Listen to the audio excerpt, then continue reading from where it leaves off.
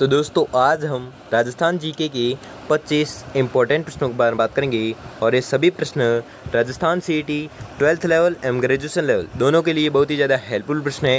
इसलिए वीडियो में आप अंत तक ज़रूर बने रहे तो चलो वीडियो को शुरू करते हैं। तो आपका पहला सवाल है कि महाराणा प्रताप का जन्म किस वर्ष में हुआ था?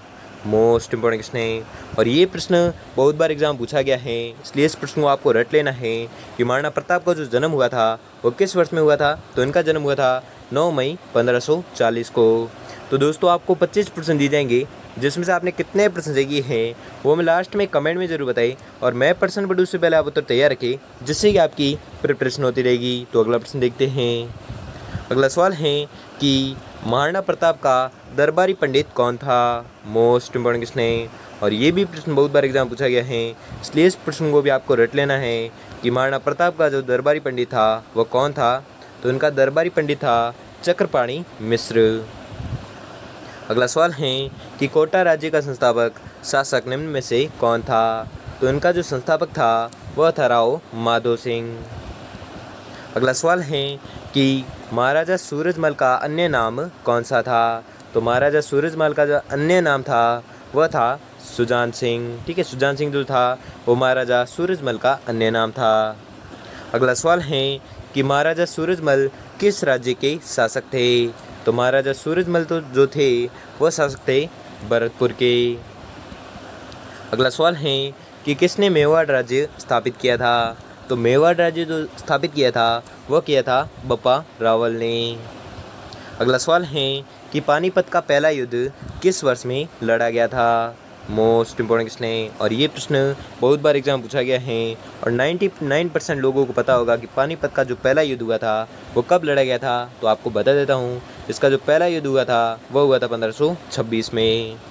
अगला सवाल है कि मंडन द्वारा लिखित, मंडन द्वारा लिखित रूप मंडन का संबंध है। तो ये किससे संबंधित है? तो वो आपको बताना है। तो ये संबंधित है मूर्ति कला से। अगला सवाल है कि कानड़ देव कहाँ का शासक था? तो कानड़ देव जो था, वह शासक था जालोर का। अगला सवाल है कि कछवाहा राजवंश के संस्थापक थे। मोस्ट इम्पोर्टेंट क्वेश्चन है और ये भी प्रश्न बहुत बार एग्ज़ाम पूछा गया है कि कछवा राजवंश के संस्थापक कौन थे? तो इसके जो संस्थापक थे, वह थे दुल्हे राय। अगला सवाल है कि उस व्यक्तित्व का नाम बताइए, जो कि अभिनव भट्टाचार्य के नाम से भी जाना जाता है।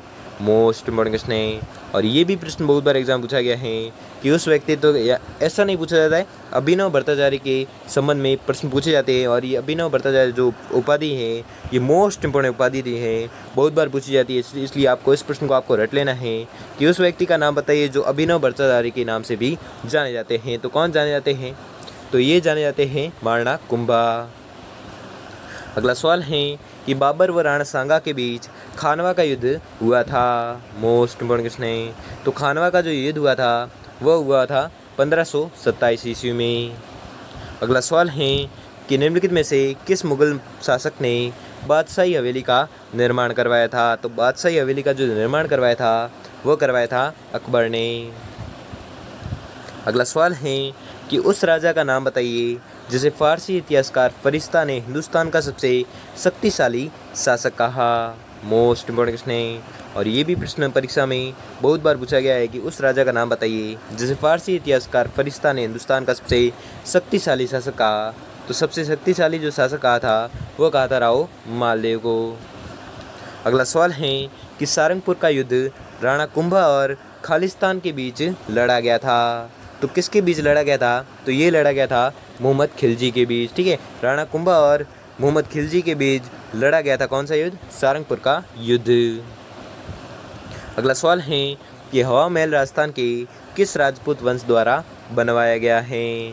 मोस्ट इम्पोर्टेंट क्वेश्चन है। और ये भी प्रश्न बहुत बार एग्ज़ाम पूछा गया है कि हवा महल जो है, वो किसके द्वारा निर्मित है? तो आपको याद रखना है, ये निर्मित है कछवा राजवंश द्वारा।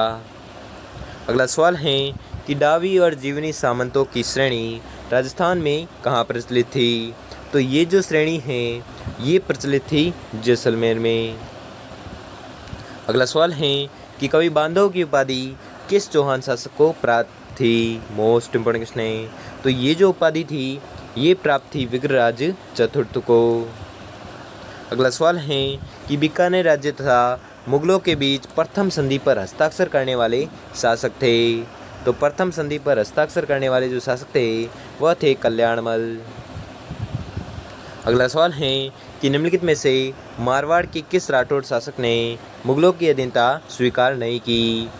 तो वह शासक थे राव चंद्रसेन। ठीक है, राव चंद्रसेन मारवाड़ के वह शासक थे जिन्होंने मुगलों की अधीनता जो स्वीकार नहीं की। अगला सवाल है कि महाराणा कुंभा के शासनकाल में चित्तौड़ का वास्तुकार कौन था? मोस्ट इम्पोर्टेंट क्वेश्चन है। और ये भी प्रश्न बहुत बार एग्ज़ाम पूछा गया है कि महाराणा कुंभा के शासनकाल में चित्तौड़ का जो वास्तुकार था, वह कौन था? वह था मंडन। अगला सवाल है कि महाराणा सांगा के मृत शरीर का दाह संस्कार किस स्थान पर किया गया था? मोस्ट इम्पोर्टेंट क्वेश्चन है। और ये भी प्रश्न बहुत बार एग्ज़ाम पूछा गया है कि महाराणा सांगा के मृत शरीर का जो दाह संस्कार किया गया था, वो किस स्थान पर किया गया था? तो ये किया गया था मांडलगढ़ में। अगला सवाल है कि उदयपुर स्थित एकलिंग जी मंदिर का निर्माण किस महाराणा के समय में हुआ था? तो ये जो मंदिर है, इसका निर्माण हुआ था बप्पा रावल के समय में।